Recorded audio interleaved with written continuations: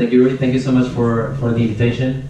Um, I just um, unfortunately just saw one uh, uh, presentation and a half, but I was actually blown away by. I, I think that's a, a very interesting model where um, you are looking forward to listening to more about the case studies and a little bit of what we are doing. So I will definitely try to uh, focus uh, that on my presentation. So uh, as we said, my name is Daniel. The CEO of Attentive. Um, we uh, are helping companies automate a lot of the sales process altogether and, and that includes qualifying the leads, um, getting to know the leads that are uh, getting colder, uh, how do you re-engage them. So there's a lot of uh, information on getting um, teams that never had a sales process and using Attentive uh, with uh, HubSpot uh, behind it. We will just integrate with HubSpot and, and we can automate um, all the activities. So essentially, you, you, you'll have a sales assistant working for you for each of your sales reps and can give you information about the leads. So throughout this process, um, we've learned a lot about uh, you know how big companies uh, build their sales process and how small companies, when they are starting, they, they also do that. Um, in my previous role at Google, I was working in the sales team as well. Um, the sales uh, team at Google was incredibly uh, complex and very, very structured. Um, uh, for example, my role was not a direct sales, so we had indirect sales and direct sales. In my case, I was um, uh, in a kind of a consulting role for digital trends, video, mobile, all those different things. Um, because Google is uh, was um, I was only dealing with the biggest customers, so um, it was uh, it, I was working with a point where I didn't even focus on revenue per se because we had other people focusing on that. My um, my my objective was just to try to bring customers more online, so less TV and more online. So we can get to that level of complexity hopefully all of you will get to that point some someday. We're definitely not there yet. Um, and I really want to tell you more about our process as well um, on, on Attentive, what we've learned from our customers and the companies uh, that are our partners. Um, also at Techstars last year, we saw dozens, probably hundreds of other examples of best practices, uh, what are people doing that is working. So hopefully I'll be able to share some of them.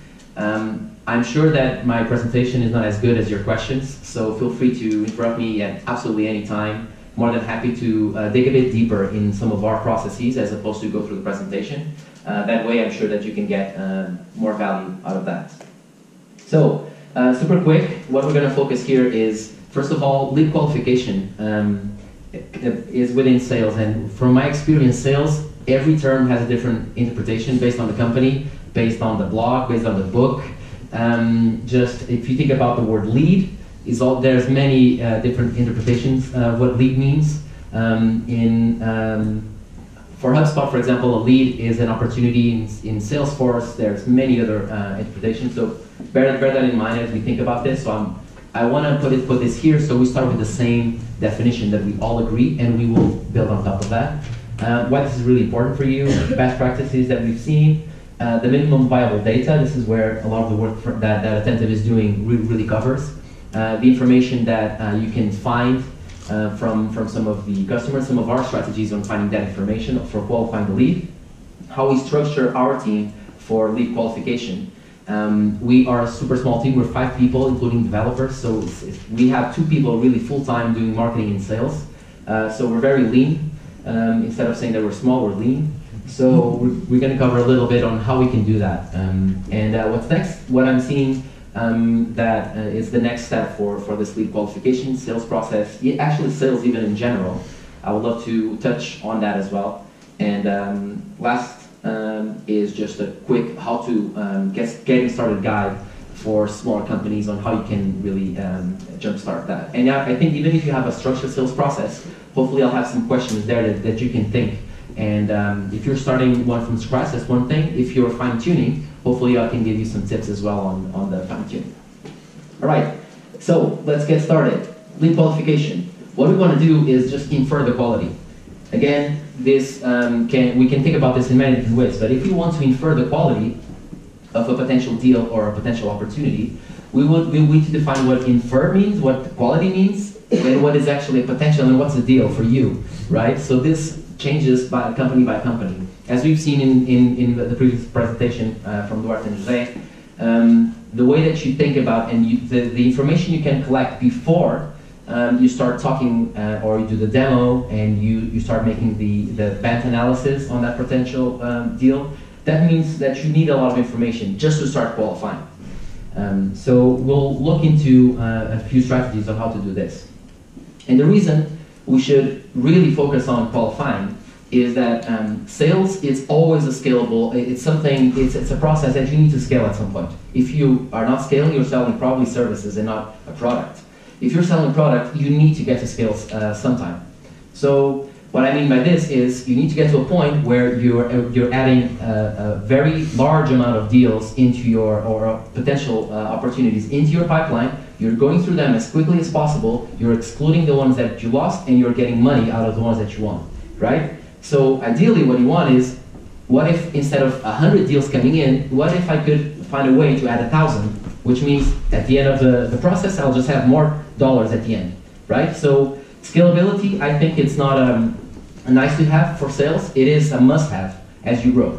So that's why if you are not focusing on qualifying, even if it's just a mindset in the beginning and you have a few hints on your process on how to do this qualification, this is something that's going to hinder in the future very, very quickly. And you're, you're going to end up with interns when, when you're just presenting to those and you're spending the super valuable time of your sales reps or your teams, many times the founders, doing demos or um, trying to uh, negotiate deals where they are not the priority. So that's why this is really, really key. Just think about the funnel, right? All of you have a CRM and you know the, uh, the stages of a CRM. If you are only excluding deals in the, in the, the second final stage, all of this is time lost that your team has already um, invested in that lead for um, next to nothing. You could say, yeah, we learned a little bit more about them, so maybe on the on the on the client uh, record, we do have more information, but truth is, that's not as valuable as going through winnable deals. Winnable deals is, for, is surely going to bring you more dollars much quicker in a direct way. That's why qualification is um, really key in the beginning as you think about that. So now, if we talk about the lead um, specifically, um, and I, there, there, was a question in the in the um, in the end of the final presentation where uh, people were asking, well, how do I um, can get rid of uh, pitching to interns, or can, if I'm too specific and I request so many things for each of my leads that I only get one lead, right? So you need to find your balance, and you're probably never here or here, but finding the right balance to be here in the, uh, right in the middle is pretty hard. It's really hard, and it's a moving target. Your product hopefully evolves over time, right? You go to different markets. You um, need to think about, you know, um, an upselling opportunity you're selling to smaller companies, but, but we, um, for example, this is happening to us at Attentive, where um, in the beginning we were uh, working more with teams that didn't have a sales process, and they would say, look, we need help. Um, we are not hiring sales teams because we don't know um, which process they, they, they should follow. We're, we're not experiencing enforcing a specific sales process. And they will talk to us and say, just install Attentive and you will get a, a, a checklist, a daily checklist if you clean that checklist, your sales process is implemented, you have all the data, and you have all of that information that you need for each of the reps. So that was the initial, uh, the, the starting point. Now we're getting uh, more interest from big, big customers that have um, thousands of sales reps, and um, they also have the issue with we don't have enough information on our sales um, CRM, and we need help with some software that can make sure that um, the, the, sales reps spend less time filling forms on the CRM and they spend more time with customers. Um, stats here, super quick. Um, they would spend about two thirds of their time doing admin work, right? Sales reps in general, they would spend two thirds of their time um, doing admin work. That means, you know, building decks, uh, filling forms in CRMs, booking meetings, all of that. So in my view, and of course I'm totally biased, and unashamedly, but um, the advance that we saw in the last 10, maybe 15 years now in marketing, um, there was a lot of efficiency. And I saw that we touched a little bit on the efficiencies that we got in marketing in the last few years. Sales is still far behind, in my view, right? People are still doing a lot of these uh, workflows, these processes manually. They, they're using like five or six different services trying to get to that scale. So uh, big companies still have uh, this, this need. So the target for us of what we consider to be a lead is also moving, right? So um, I want to show you a couple of different things that we've thought about uh, in the process for Attentive on trying to, to define what a lead is. So there are dozens of different factors that you can think about. In the beginning, um, the type of company that we were thinking, uh, so the our persona, that would be our, our ideal lead. Um, it would be a company that does like two, three million ARR. Um, they would have maybe two sales reps and one of the founders still selling as well. This is super, super common. Um, and also they would be B2B for sure, and ideally in the US market, right? They would be users of Salesforce or HubSpot. Um, so that starts to paint a picture of which, which kind of companies um, do, do we actually target when we use an attentive. You uh, notice that I didn't uh, talk about sector, for example. Sector for us, we realized that was, as we were talking to customers, that sector was not actually that relevant. What we saw that it was relevant is the average ticket that our customers sell to. So if our customers sell products that are Deers, using the previous example, um, if they are selling to Deers, that's great. Attentive can help because uh, we do a much better um, process. If the process is complex, it's, it's, long, has many touch points, that's where Attentive can really help. If you have a, if you're only selling to flies, then Attentive is not as helpful because um, your sales cycle is super short. So um, you just want to automate as much as you can. You won't have many of those touch points. So that was the initial um, thing that we were thinking about time of deployment is now super, super key as we move into enterprise. Time of deployment is uh, the, the, time that we take from, the, uh, from, from, closing a contract until they are fully fledged, fully adopted in terms of the, um, the number of users that, that we agreed on the contract. Initially, that was not a problem at all because we were talking to mid-sized companies, right? They were selling two to three million. They were super fast. They didn't have a lot of integrations. They didn't have a lot of security standards initially. So they have to rely on HubSpot and Salesforce's uh, security standards, um, and they didn't have their own processes. Time of deployment, security has, plays a big role, so that changes a lot. The way that we consider what is a lead based on this. Now think about your own companies. Your own companies will have a very different uh, set of leads. Maybe sector is key for you. Um, I'm sure for InfraSpeak, sector is key because you're not, you won't be selling that to uh, other software companies. Uh, maybe for now, uh, eventually, who knows? But um, I'm sure that you guys have specific sectors that you're targeting in the beginning in markets. Um, for us, we will, we will have different variables. So it's key that, that they have a specific list. Another thing that we've noticed as we've spoken with dozens of sales teams is um, when uh, people see this, they're like, yeah, of course, of course we know. We know, like, we don't need to see this um, then do this test. Ask yours, each of your sales reps, if you have more than one, and ask them what do they think this is. And I'm pretty sure the list is going to be different, right? Because they have different hints from the market, which is great, by the way. That's very valuable knowledge that they acquire over time when they're speaking to customers. Um, it, for me, it was super fun in the beginning when we were interviewing a lot of sales reps, and we will ask them, so what's the pattern that you see? And each sales reps, they have that like their, their hidden formula they were like, oh, I know. When I see like a healthcare customer, they've been on my website and they, they send an email that has two paragraphs, that's a click for me. You know, they, they start to see these patterns. That's again the scalability that each of the sales reps gets. They, they start to get this feeling of, I, I now can sense what is a qualified lead for me, right? Um, so this is really uh, interesting. I don't think that you know that, it, that there is a streamlined uh, way of, of looking at this, but um, having a few guidelines that each company have, and then of course over time the sales reps will have a, uh, a slightly tweaked version of this of this list that um, that applies for their market, right? Because if they go to different regions, they're going to sell in a different way. So what is a qualified lead um, for a specific market can be different. This is super common. Um, again, our example, we, the, the, the biggest chunk of our customers come from the US.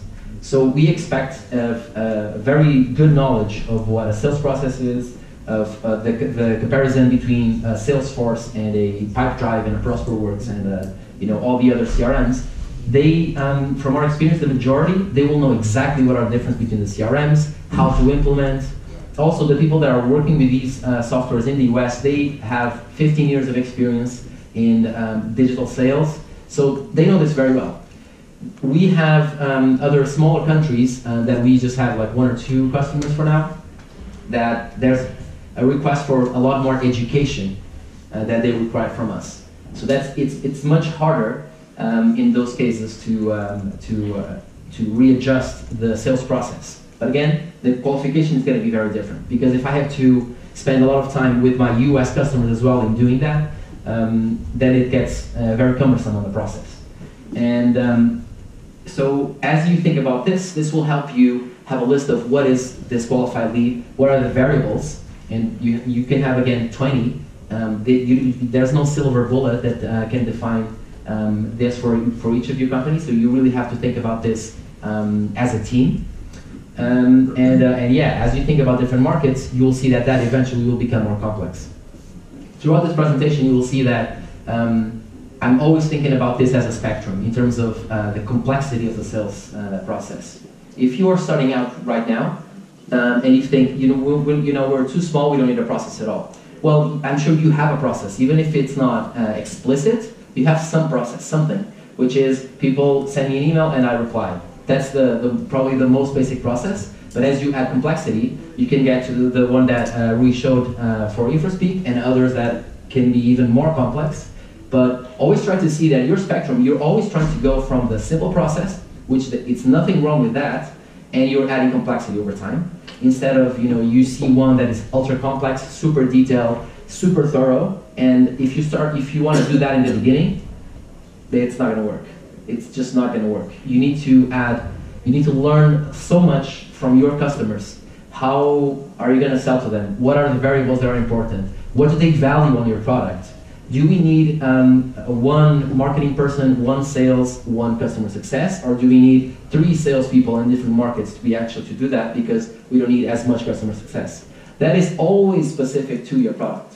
If you're trying to add more sales reps, the industry metric or reference is that for um, for each sales rep that you want to add, you need to have 5x on the revenue that they're bringing in.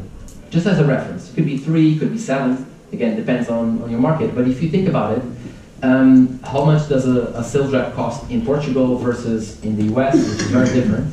Um, you need to say, okay, if that person costs me 100K, they need to bring 500K in, in, in terms of revenue.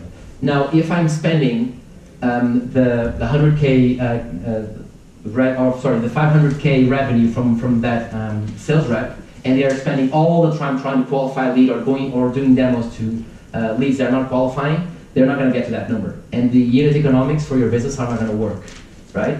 So the numbers change, but this ratio of the the, the one to five um, is really good for you as well as, as you think about um, hiring more sales reps. Um, it's, it's easy as well if you have the, the, the information, you know your average sales cycle, you know the ACVs of your business, um, and you know exactly that. Is it feasible for someone to bring in five times what revenue um, the, the, their cost? Or even if it's a bit less, that's fine. And you will expect, of course, over time that they will increase that as they have more networks and all of that. Um, one thing that uh, I just want to also say, I probably I'm going to use, and I'm sure you're, you're used to a lot of acronyms. If I use one that is not clear, just let me know. I'll clarify that. I'll make sure that I know what I'm talking about. Um, so with this, so this is one variable, right? So you think about uh, these sections. And right now you can think about the others. You can think about your business. This is the ACV thing that, um, uh, that um, was shared in the previous presentation as well from, uh, from Duarte and Jose this will actually have also an impact on your qualification. So um, I, I, was actually very happy that they brought that, so you can see this, um, this variable as well in the marketing, but also in sales. This is going to affect a lot about um, uh, on this. So I won't spend more time. I think they covered much better than I could, uh, so that's great. In terms of the um, the process of qualification, they talked about BANT. BANT is uh, it was invented by IBM, I think, in the 70s. So it's pretty old, and that's a good sign here because I think it's robust. It's generic um, because it only covers these four things, but it's by no means the only um, the only um, uh, methodology for, for qualification. I think it's the most used. It's definitely the one that I see the most. Uh, there are others. Uh, this is a beautiful acronym. It's totally going to stay HubSpot. Everyone is going to remember this. Um, there's Champ. There's one called MEDDIC. There's one called Spin. There's um, probably every company will have a different version um, of a methodology. Um, I don't want to tell you that you should use BANT or blah blah blah, or Champ, or MEDDIC, or any of the others, because th- this comes down to the variables that you already thought about, that I told you about in the beginning, right? It depends what is important for you here. I like BANT because it's generic enough that you can um, adjust uh, for your company. Um, but of course, if, instead of BANT you have all of this, great. Um, but I think in the beginning it's super hard to have all of this. And even just in BANT, um, covering all these four uh, bases is pretty hard uh, by itself. Again, coming back to attentive, how do we use this in our case, just to give you um, the way that we use. Um, so, loosely speaking, um, we have one person doing the marketing side. So that person is um, is responsible for uh, booking uh, demos in my calendar, and I do the from demo to close, roughly. There are exceptions, but that's really um, since we're only two, we're hiring now. But um, for those two, that's the way that we are doing. So if I get a demo in my calendar and I don't have partially this information, that's the, the chances of that demo going well are, are very low because I don't have enough information to see how attentive can adapt. So we use HubSpot for all of this. Uh, Francisco, he would qualify the lead first. And uh, even if the lead comes from the website, I think right now more than 85% of our leads are still organic SEO type of leads that come to our website. Um, and uh, he will have the first step of qualifying. Uh, people can, on our website, uh, sign in by themselves. For now, we are, um, I think that's probably a common thing. Over time, as you get more and more requests, you will turn off that feature. That's, the, that, that's our, our thinking there. So if you go to our website, you can uh, um, connect to your HubSpot right now and uh, use Attentive, and then we will talk to you afterwards, after you sign in uh, with, with Attentive. So that's the process over time, that is that that's not scalable. And I think that's the point of probably InfraSpeak is now, which is you don't want to do that. You want to make sure people are using it correctly, they have the budget, and they cover all bases. So we do it a different way, right? So they will install Attentive, and then we will talk to them and see if they have this. For now, the conversion is good enough that we say, for now it works. I think it's going to get um, much worse as we start any outbound activities, right? If, you, if we just like a big paid advertising campaign, this is going to go bad very, very, very, very quick. Because people can install, they are the wrong person, they are, uh, they don't have the authority to do that. Um, but the, the, we, we cover um, some of these areas almost by, by default. For example, the authority, if you have, you're authorized to connect your CRM, you are probably, uh, we, we are talking to the, the right person. So you remember I was talking about the two markets that Attentive is covering now, like the mid mid market and then the enterprise. With mid market, usually that's the CEO or the head of sales who's gonna connect uh, the the CRM. So that's one thing. When it's enterprise, there are so many loops that we uh, and so many hoops that we need to, to, to jump before we can get to to them installing Attentive. That when they do, that's already a good sign. We got the authority um, to cover that. Budget. Um, in terms uh, for us the way that we think about budget is um, we are um, since they they already um, installed attentive usually again um, we don't mind uh, talk, talking about budget um, we can get to, to an, an, ROI conversation super quick because um, one measure of success for us is the improvement that we can do on the sales velocity of a, of a company so when they install attentive and they clean up the initial actions we can already show the before and after um, and um, so even if they don't have the, the initial budget, which is uh, fairly cheap, and because we charge by seats, it's, it gets heard super quickly on the, on the conversation. My experience tells me that the budget conversation sometimes is not about accounting, it's more about um, anchoring, right? So what I mean by this is um, they will tell you they don't have budget. What budget, right? If the company, well, if they literally do not have money in the bank, they are they don't have a budget, fine. But the majority Definitely the majority do. The issue is, can you convince them that you're so valuable that you have to um, grow besides the, the, the budget that they have for sales, right? If we can tell them, well, we can double your sales team's productivity because we can go through twice the number of deals that they're going right now. Like, okay, well, if they can go um, through the twice the number of deals because they don't have to spend time on this inefficient process, okay, maybe that uh, the budget pays for itself, right? If we can show that we closed two additional customers or five additional customers uh, because attentive allowed them to go through that uh, faster cycle, the budget suddenly appears. So um, this is the, the, the, the, angle that we take for smaller businesses. For enterprise, of course they have money. So when they talk about budget, it, that's always a negotiation um, thing. Um, at Google, when we were negotiating um, other tools that we wanted to use internally, we, we, we did have a, a fixed budget but the fixed budget um, was uh, fixed for only one year, and it was totally based on our ability to get more budget, right? So it's up to us to make the internal case to, uh, to, to get additional budget. So we can totally, this, it is manageable.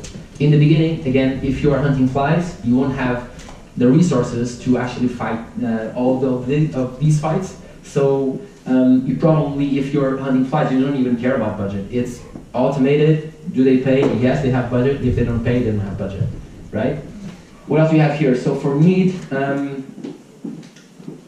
we now are starting to see what are the patterns when people are, are using uh, Attentive. What is the specific need?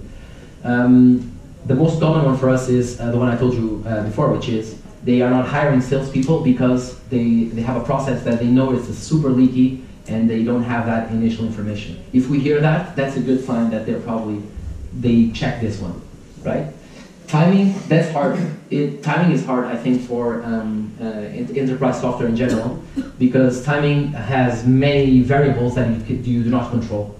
For example, there, um, which I think, in my view, is probably worse than budget in this sense, because if they have the priorities for this quarter, they have a budget for this quarter. That is much, from my experience again, it's much harder to fight that than fight money an enterprise customer, if you can charge them more money, because you know if, if you get into the door, you can get um, to uh, to show people the demo and all that. You already have a, a, step there, and they already confirm that they have the money for that, and they have they are very um, uh, insensitive to price in that respect. What they care about is is my team going to actually use it? Do I have the resources to implement this um, this quarter? My uh, security team is uh, completely stacked this month, so we there's no chance we're going to review this this month. So this one is, I think, can be hard. Um, but again, if they have a super urgent need, it's easy to sense that they need to implement this straight away. And there, there are other strategies that, that, that you can uh, use to try to uh, assess how urgent this is, you know, how quickly they respond to your emails, you know, how long the emails are, do they involve other people from the, the company super fast, or do they, you know, they want to keep the conversation for themselves. That's not usually a good sign. So as you involve, you'll see if the, the timing is right. So, um, first, yeah, Pat. Uh, so, for example, you were saying that uh, for you to have a call, a demo call with someone, you actually need to have the bands already sort of defined. Mm -hmm. Like, um, so imagine, if you even consider doing a call, the first need to install it, install attentive so that then you can qualify and decide whether it makes sense to do them. How, how's that process for you? Sure. And how maybe you get each of the data points? Sure. Uh, thank you. Uh, first of all, um, for now, we don't require. I, I don't ask uh, Francisco to give me super detail on, on, on, on the four. If he gives me a hint on two, that's enough. So um, I think that's that's very important because you, you're always talking you're always talking about um, uh, some lack of information. You don't have all the information, right? So if he says we spoke briefly and he they definitely have the budget and they are like they are talking to us every day. They definitely have the need. That's probably enough, you know, for us to get to the demo stage. If you use this strategy and you don't do demos and you you want to move to contract faster, then you probably need all of them. So it, it, it varies uh, from, um, uh, from, from case to case. In our case, maybe two, I think it's a, it's a, it's a good sign uh, that, that we have it. The way we do it is um, on our sales pipeline, the first, one, the first column, it's all Francisco's. And when he moves to the second column, which is uh, demo booked, um, he, he'll, he'll add a note with these things. And I can move them back, which sometimes I do. Um, if, if we have too many, then it's up to me. You remember, like on the on the initial slide here, if if, if I say no, no, no, watch out, because of course, marketing will, will want to go here, and sales will want to go here, right? What's the, the if you ask any sales rep, what they will say is our leads are weak. We don't the leads. There's no information. marketing uh, sucks. They're always sending us bad leads because they want this, right? And then marketing is uh, if usually they're paid on leads, so they say, well, of course they want to broaden as much as possible. So you need to find this balance Mhm. uh, right here. They are implementing more or less the, the same process. Yeah. Also having someone qualifying a lead, and to be to just to understand like what kind of work you're actually doing, the process. So Yes. Yeah. yeah, So one, um, if he, if we have website, uh, we see that, that we know that they're already using uh, HubSpot or Salesforce when they connect, and with this information, that's enough, I think, to do a good demo. and what I mean by a good demo is if they already created the account. They are proactive at? Sorry. Do, do you go after the clients and say you should do a demo, or they, they actually come to you? No, no, it's they, they already book on the calendar. Ah, okay. Uh, it, it is already booked, so I don't even need, need, So then to it just that. qualifies before it's Yes. all to them. Yeah, so I will, the, the, what I will prepare for the demo is that I will use their account, uh, which makes things easier, because I make, I, I can make already recommendations saying, for example, when you connect Attentive, we can detect deals that don't have any owner, uh, deals that have been um, in your pipeline for over 90 days. We can detect that um, the deals have been created after they were won, which a lot of sales reps do. They just go to the CRM when they won deals. They don't go when they when they lost deals. So they just register after they won. Um, so we can detect all those uh, data inaccuracies, and that's part of the report that, we, that I can show them right on the demo. If I don't have this, then it's it's definitely harder because I will have to make a generic pitch, and uh, we don't. I, I don't know which angle is interesting for them. If if I'm speaking with a head of sales, what I want them to see is I will make sure that you don't have to nag your team all like every week to make sure they put the numbers on the CRM and you have numbers, you have a pipeline data that you can trust. That's my pitch to the head of sales. If I'm speaking with a sales rep, he doesn't care about that at all. What I'm going to tell him is, look, I know you spend too much time on your CRM. I'm going to cut that in, into just one minute a day. And, and how do, how do you bring like, uh, so I, I imagine that you don't want to, to make a call with someone that is not a decision maker. Yes. So how do you bring them to the table if they're not? Um, for now, if they are, if, if, if we see that they are, um, um, that's that's very um, situation uh, specific. If we see that there's a potential that that person can get us to the right person, maybe we'll do it. Um, if not, we, ju- we just don't don't take it. Um, the the tricky thing there, which I think is, is worth thinking about, is it depends on your resources.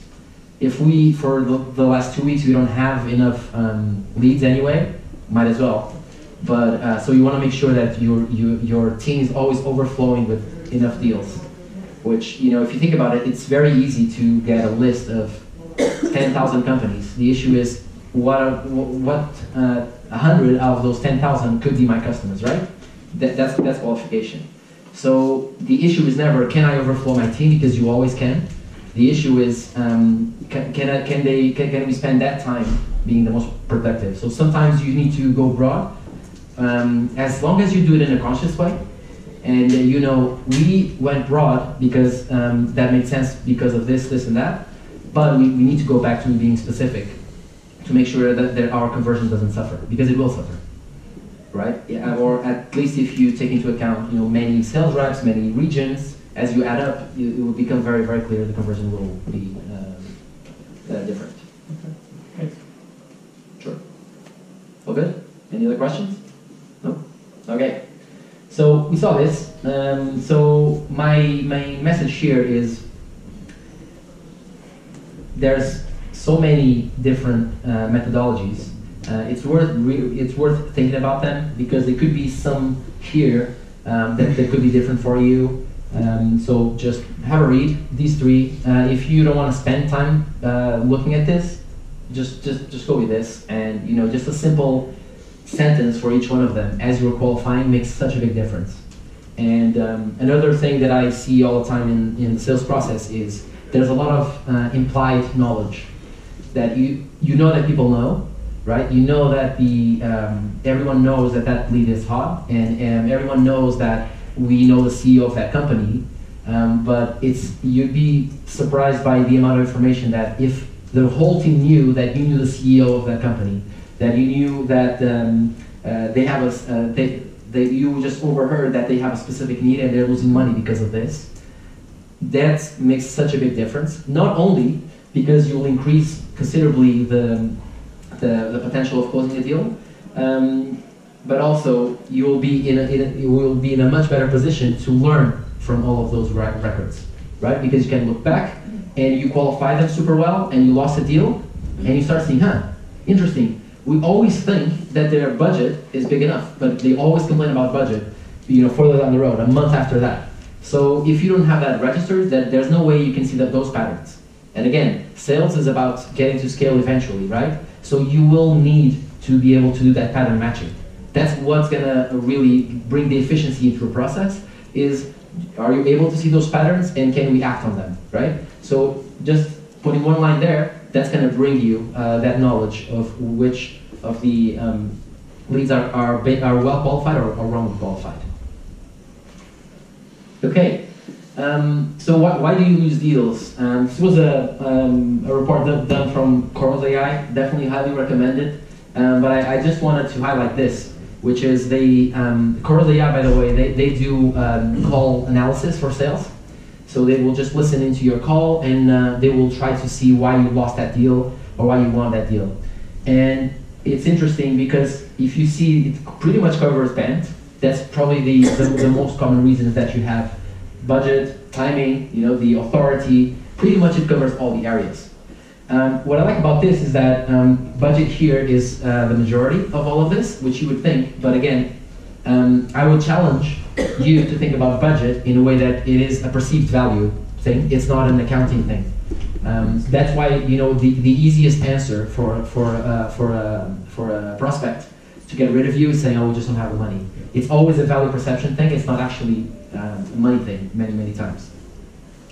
Uh, but there's many many stats uh, around this uh, area around um, sales efficiency um, and um, really trying to understand how can you qualify um, your your deals. Okay, so moving on to minimal viable data. So I, uh, what I want to highlight here is the information that you know. Um, if you think about the, if we go back again to the framework of flies and elephants, right? We started probably here, and now we're moving to here. Like we, we are probably in these two stages. In the beginning, or if you're hunting flies, probably name, email, amount, maybe um, phone number in some cases. It could also be here. Um, and that's fine. If you just say, this is more of a, a strategic decision that you take, and I, I urge you to just pick one or a variation, uh, your variation of this, and you say, for us, this is a qualified deal. This plus, you know, it could be that we want to have a, have a full BANT analysis on our uh, records, so so that we can make that analysis. Again, it is a strategic decision because you cannot do this if you're selling ten dollars a month. So that's why we started um, our. I tried to start with with the strategic point of view of what are the variables for for our leads and what are the um, the, the ACVs for them. That that's going to tell me what are the sales economics that make sense when I'm trying to sell, right? Uh, if we are, um, if you're selling to to um, an ACV that is so big that that we can allow to have 10 meetings and go to lunch and, and all of that, you should definitely have, they should see you as a, a measure of progress. And an email is not enough. You need to show them that you went from, uh, actually, if I, um, I think my role at Google was definitely here. I was not trying to sell, what I was trying to say is trying to change um, or shift their view on online. That's, it was totally proactive, um, no pitch at all. So we're, there. I think um, this one is very interesting. That, that's where we think the majority of sales is moving over time, which is you not only have the information which you can automate. Um, for example, just give a, a work email and use tools like FullContact, for example. There are dozens of others. Uh, we use FullContact, and it can give you so much information about that person, company, where they worked, um, you know, the size of the company, revenue, all of that and many tools uh, are free or they have like free tiers so it's not even a question of budget i think FullContact had a free api that you can use and can connect and, and do lead enrichment just using this information. So it's really up to you how much information you need, you need there and what is for you like a perfect lead. So think about that. When you look at your crm and you see a, a, a deal in the third stage what information would you want to see there right? Um, you shouldn't move from the first stage of not a, a lot of information. The minimum could be one of these. You pick again, and as you move to close deal, then you move to having you know going up the ladder and really getting a lot of information um, into the process. So yeah, so the, the, these are the, this part is totally automatable. I think until here, this is becomes more more much much more strategic as you you do this. Um, this can be super helpful as, as you do comparisons in the industry. You know, can you is the industry overall growing? Um, is this a good time for them to invest? And um, we, we, were actually uh, talking. Um, uh, Salvador and I were, we were talking before the uh, uh at lunchtime and he was telling me how he found out the, the perfect time for, for his industry to go and chat with them. That's an industry learning, right? That, that he can use when saying, you know, in this quarter, that's the right time to, to go talk to them because they have this, this, and that. So you'll move up, up a ladder on getting this information. So um, in terms of the team structure, um, I'm sure many of you have read the book uh, Predictable Revenue from, from Aaron Ross. Um, we try to use a, a simplified version of that. This is our the way that we think about our structure internally. But um, as if you remember, we don't have four people. Uh, but that's fine. The way that we will do it, we, will just have blocks on our calendar saying, I am doing inside sales uh, work this morning or this afternoon. Usually it's, it's this afternoon because of the US. And, um, and, uh, and then sometimes I will just do account executive uh, time. Why um, is uh, specialization such a big issue or so important because you can compare um, your, your efficiency.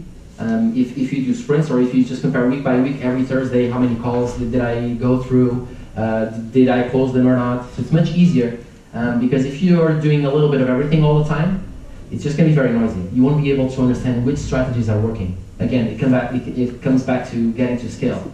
If you scale, you have to repeat the exact same thing many times and see which parts are common on the success factors. And then um, if you do the specialization, this is how you do it. So uh, the SDR will do the qualification and book meetings. Um, it's super, it totally depends again on the company. If you want to do outbound, pure outbound, with trying to book the demos without any qualification, or you, in our case, we want a person. Uh, since we get the, the great, great majority of our leads come inbound, um, and we prefer to rely on those. So the only thing we need to do is qualify them properly. Remember, they already opened the account, uh, and then book the meeting. And I usually do the demo, and I readjust the qualification uh, based on um, the if I if it, if I get a lost lead here, or if I move them forward, right? Course, you can still lose them here. That's totally fine. Um, and the reason why we lost them, it could be that um, our product, uh, the, the value proposition was not right, something like that.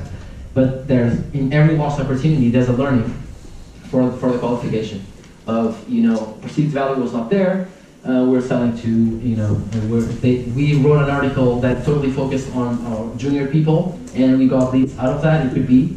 Uh, it really helps to have this um, um, uh, this way. The one that is not very well done uh, in um, our team right now is customer success, as we were doing more ad hoc. We have some reporting that, that we will do. We'll contact them. Uh, we'll, adoption for us is the most important thing. Is um, since Attentive will send via Slack or email a couple of actions for each of the sales reps. Uh, what we track is are the sales reps doing the actions on Attentive or not?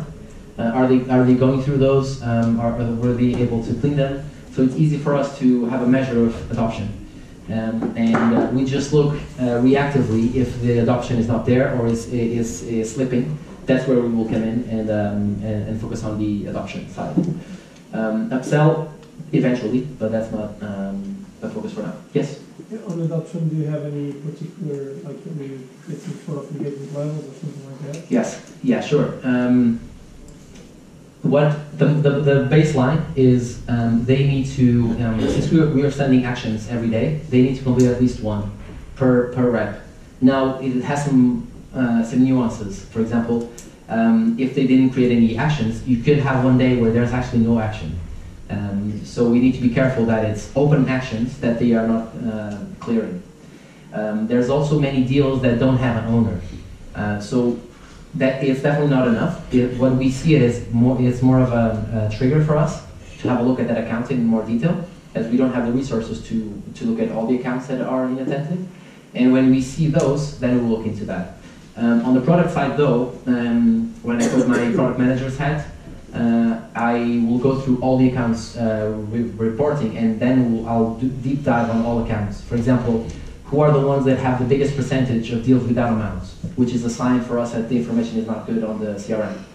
The ones that have a big amount of deals that are stale, so more than 90 days old, or they don't have amounts of the deals, those are signs that there's, there might be an issue with that account, right? So the way we thought about this is let's make sure that we have a trigger that is simple, straightforward, and it's always on. And then we do a weekly review where we will try to go a bit deeper onto the accounts and see how things are going.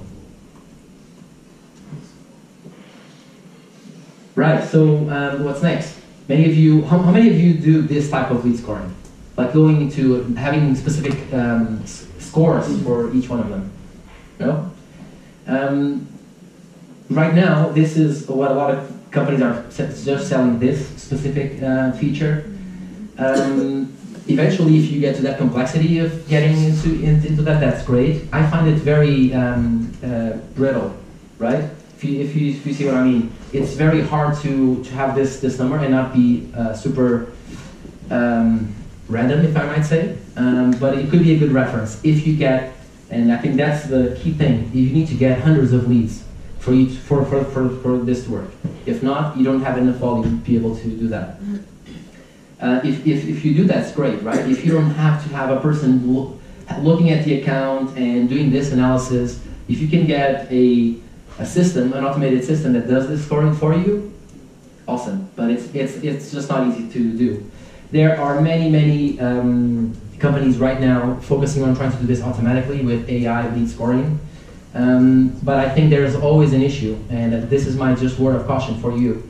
When you see demos, you get absolutely in love with this because it's so beautiful. You know, when you get a lead and he gives a score, and you say you need to talk to them straight away, and they are from this industry, and you have this third level connection with that person. Truth is, it's beautiful when it works, but it never works. Uh, right? It's super hard to get the level of data that you can use to train and then use in a real context. It's the same with, um, with BI, right? With having dashboards that look beautiful and your pipeline is shiny. Demos are amazing because you, we all uh, love to see charts and, and numbers and growth and all that. But if the underlying data is bad, there's really nothing you can do there. So that's my word of caution with this. If you start with something of, you know, it's your own notes and you use those to qualify, that's a good start. If you can get to that, that's, that's great. Others, um, we have a company that's super friends with ours um, called MadKudu. They do like, they do this AI lead scoring. They, but it's a black box as well, which I'm also like. It could work if it works great, but it, it is still a black box that you do not control. Um, so bear that in mind. Um, what I'm more interested is on getting the scoring and the cycling. So for lead cycling, some some tools that I haven't seen one that is um, uh, super strict on this, but I think after lead scoring, you get to do the cycling right. That's that gets interesting. So for the ones that don't know, lead cycling is when you attribute a lead that just uh, came in to the right sales rep to to follow on. Right now, some teams just do, you know, you assign based on region or you assign based on you know when it came in, and you just do uh, to the next sales rep available. Um, you do intelligent lead cycling can become super interesting. If you see, for example, that based on lead scoring, that a, this lead will need many touch points, and you have one sales rep that is particularly good at having too many touch points, or it's really good with this industry, or it's really good with some particular uh, property, then you can do a super intelligent cycling with getting the leads to the sales rep that has the highest probability of closing that lead and keeps informing the system. Uh, so that's where we will eventually uh, get to. Um, the but you, before that, you need to have a system where all the touch points are registered somewhere, and you can use them to um, uh, to learn. So you have enough volume as well uh, to to go through that. So I, I think this we are still a bit far away before we can get to this. Uh, first of all, you need to get one CRM, one place that has all your sales data, and then on top of that, that everyone is using that and is registering everything. You have enough uh, lead volume that can give you that. So we're still far away. Uh, Salesforce, for example, they are doing this with uh, the famous Einstein thing.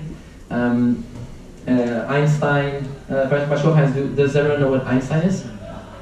No? Okay, sorry. Um, glad, glad, glad I asked. Um, Einstein is a vision, I'd, I'd call it, from, from Salesforce uh, on how um, AI would be applied to CRMs. It's more of a vision than a product, but they are saying, you know, intelligent CRMs, you know, as they evolve right now, uh, CRM is simply a database. If you think about it, it's a, um, a database that requires a lot of human input and a lot of effort from, from, from humans. And they want to make it more intelligent, use artificial intelligence to be able to do that. And they call that initiative Einstein. One of the first, I think the first actually, the, the, the first real product out of that initiative, out of the Einstein initiative, is getting uh, some is, is getting a score based on artificial intelligence. Um, so companies are trying to to add that here, and they will also do some type of lead enrichment uh, based on that lead. Um, ideally, uh, but think about it. Think about the the number of um, uh, things that you need to, to, for for this to work properly, and the the comparison is just just having someone on the team just doing this BANT analysis or some something else, just saying this lead is good because of this, or it's not good because of that. Um, of course, when you, you if you get if you have 500 leads a month, you won't be able, or 500 a week, you won't be able to do that analysis. But that's the the balance that we are always trying to do between how much uh, time do we have from our team and how, how much uh, resources can we allocate to doing the qualification right before we get to uh, a system of everything automated. Um, before I go to the, the get started on my, oh, okay, I really need to get that. So forget about that. Let's just move super quick. Um, so I want to make sure that you all have at least some uh, parts that you will rethink or at least discuss with your team. That for me would be a good um, outcome out of this um, out, out, out, of this session. So the first thing that you have to do is, uh, when I say define, I'm assuming you have no pipeline, which I'm sure you do. So think about it as rethink as well, uh, if that's your case, rethink your sales pipeline or questions you might have around your sales pipeline. Only then you can get to the qualification criteria for for for your um, uh, for for your company. How do you make sure that you can repeat this process in a way that you can learn out of it, right? And then the, there's a lot of positive externalities that when you do this cycle super well, that, that you can get there. So, defining uh, sales pipeline. These are super quick, the things that you need to think about um, when you're rethinking your sales pipeline. Um, the number of leads that you get through the process, ignore the sales reps right now organically, or even if, if, if you're doing outbound, how many leads can you actually realistically put into your system every week? Right? If you do that and then you divide by the number of reps that you have, or, or, or if you want to do by hour so that you, you only uh, allocate half of your time, for example, that's going to give you how much time you will have uh, per, uh, per, per lead uh, based on your current efforts. That's going to change your process altogether. Um, that's going to tell you how many touch points you can have with each of your leads. Why is this important? Because after that, you can say, um, if that um, lead is requesting that we have the, the sixth meeting, we're running out of time for, for that lead. It's not, uh, it was not well qualified in the beginning. So it should go back to the initial process. That comes back then to the qualification criteria that it will inform you and will uh, change this. You remember the initial uh, triangle, the, the, the, funnel thing with the broad and specific? This is where you will see where you sit, right? On being too broad. Um, and again, that's a, a lever that you play with all the time, where you can increase when you need to increase and you can decrease when you need to decrease, right? Um, on, the, on the criteria, just thinking about the, method, the methodology, we talked about um, uh, a lot, but there's others again. Um, make, make, make sure that it's one that you will use um, instead of one that is scientifically correct, because none will be scientifically correct, so might as well do something that people will actually use. Even if you create one that just has two variables, that's totally fine, as long as uh, you, you would use it. You could be just review on the website and see if there's a match just looking at the website. You know, you could you could make it as simple as possible, as long as people will do it constantly with all or all the leads that you would have it. Um, think about where the information about that lead will uh, or about that qualification will sit.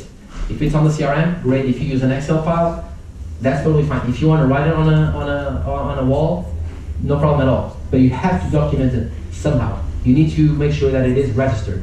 That's the way, again, that you can compare and look over time how you're doing with leads. And then lastly, who is owning? You remember in our case, we have Francisco. Clearly, he is the owner, I'm not the owner, and he transitions when the qualification is done. So he is responsible for the qualification.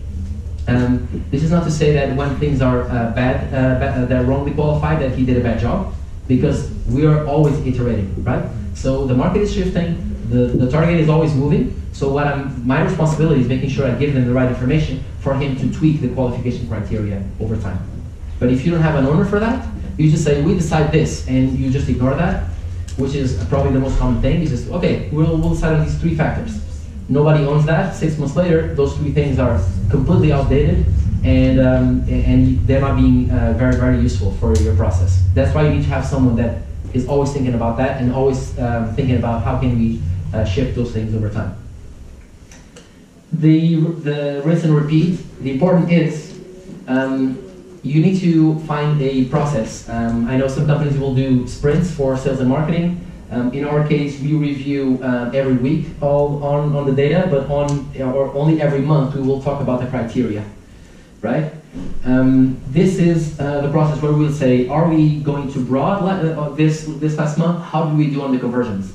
Um, we did um, super well actually, but we didn't have many. So, okay, let's broaden it a bit, or we go, uh, we just had too much noise, too many uh, lost time in uh, in meeting, and you can really try to find that. Lastly, is the process too cumbersome? Remember that the if you define a beautiful process and you can you know make it as complex as you can make, but people are, are not using, that's the worst process you will have. So that's why I always start with a super simple process, just one or two things to qualify. We have clear owners and you can get through the process for sure. Then on this monthly, bi-weekly, whatever makes sense for you, as you review, you can add complexity, right? You can say, this is working fine. Cool. Let's um, add you know more qualification, or let's add a new stage on our pipeline. Right? There's always things that you can add, but if you start with something complex, you don't know which bits are um, useful and which ones are not. So this is another thing to, to have. So think about it. Don't think about the process as something that, that is stale. It has to be something that will evolve. As the market evolves, your product evolves, your team is growing. This the qualification part is something that is always moving. So if you don't have a process to think if things are working at this point, then um, you will be obsolete in a month, super quick. Uh, so um, this is my, um, my, my word of caution here is think about it in a, not in the way that let's find the best process, lock ourselves in, um, in, a, in a room for two days, not uh, access to internet, and we will define the, the ultimate sales process because you won't have it. Remember, lean processes all the way. We will start with something, that works, and we will keep evolving it to make sure that it fits um, our, our company, and we're always rethinking that and discussing it as a team. And to be honest, it makes all this process much more interesting. It makes the job for sales and marketing much more strategic as you're thinking about the market and all the components that are part of it. And that's what I really think that the sales um, sector will evolve. Um, I don't think AI is going to replace sales at all. Um, yeah, on, on the contrary, it's going to replace the boring parts of the sales job but it's going to leave much more time to be much more strategic, add much more value to your customers, and that's what I think is really interesting. And I think technology will enable that. Um, if we if we think about these um, the, the boring bits that, that we can automate and get rid of those, we can just focus on adding value to the customers. Um, so, oh, I think that's an extra slide, no? Yes. Ah, right. Okay. So this is um, uh, sorry. The, the, this is the last one. The positive ex externalities just to close it off. The first thing, if you have this process, um, you actually will be able to inform marketing right in the beginning of the leads that don't convert, right? If you don't have a, a, a documented process, it's just going to be your opinion on things. If you document it, it's very clear the leads that didn't work and why they, they, they didn't work. Your sales quota is going to be much easier as well to project because you know how many leads you can get into the process, you know your conversions, you know how much time you take to convert, so you can project your sales quotas, your investors will love you for that. Um, and you know as well, over time you can do testings with messaging, and you know, um, let's try to uh, solve a specific need. Um, let's uh, pitch only to head of sales in our case, right? Let's ignore the sales reps. Let's just pitch that and see if that um, if the budget comes up less often.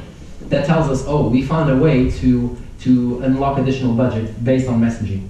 If you document it, then you can use it to really understand how the messaging works.